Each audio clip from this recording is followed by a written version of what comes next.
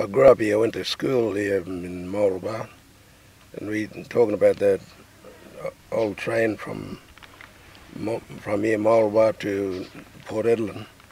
My grandfather sang the song about the old train, and my mother sang it then afterwards.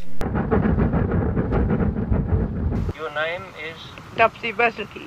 Good, thank you. It's a num. Are you ready now? Yes, what are you going to sing? Nyamal song. I'm going to sing Train. Good. Train, my father's song. Larry Brown, my father. Mm. Singing Train from Port Hedland to Marble Bar. In 1964, Topsy Fezeldine recorded her father Larry Brown's Nyamal language song about the old Port Hedland to Marble Bar train. Language speakers have worked with researchers to translate the song into both Nyamal and English so it can be seen and heard.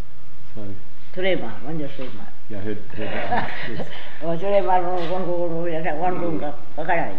So, Turi mile bala, that's three mile. Mm. One go, One kuka, that's on, on the rock, isn't it? Yeah, it's sort of a rise to. wakadai. Oh, there's a rise, like a hill, rocky.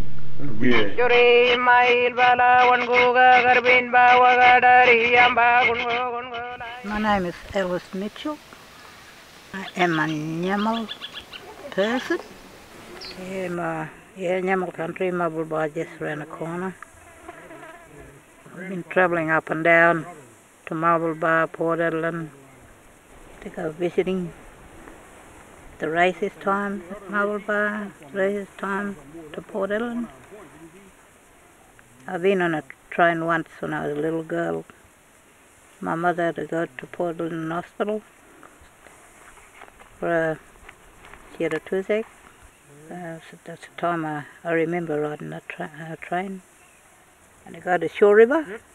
Used to be a Shaw River tank. It's the place train used to pull up and uh, fill the water to Port Hedland. Ngala is on the coast, then Nyamal up the river from the De Grey. So they um sort of neighbours, sort of neighbours. They they are neighbours, Ngala and Nyamal. Mm. So my mum, wa- my dad's a Ngala, and my mum's a Nyamal. What my grandmother used to sing, yeah, yeah, she used to sing um, songs like that. going flat out downhill to the river at Bidimara through the Wongo Wongo Hill. I think what the project represented for us was um, a standard, it's a benchmark in terms of, you know, what goes into telling the story.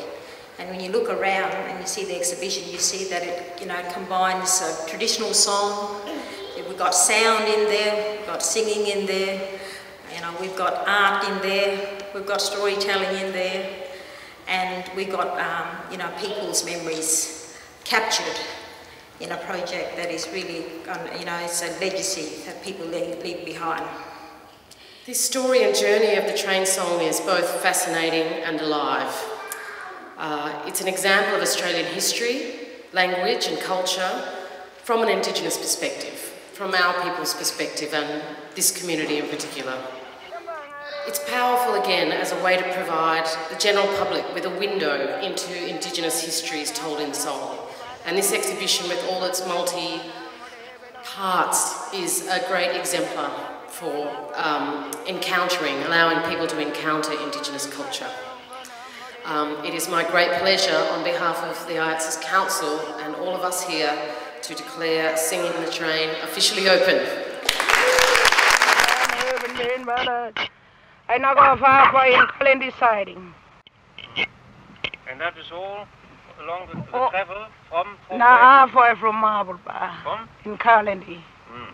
30 miles from Marble Bar. And it's all Kalendi sung in, in Nyamal. Nyamal proper song.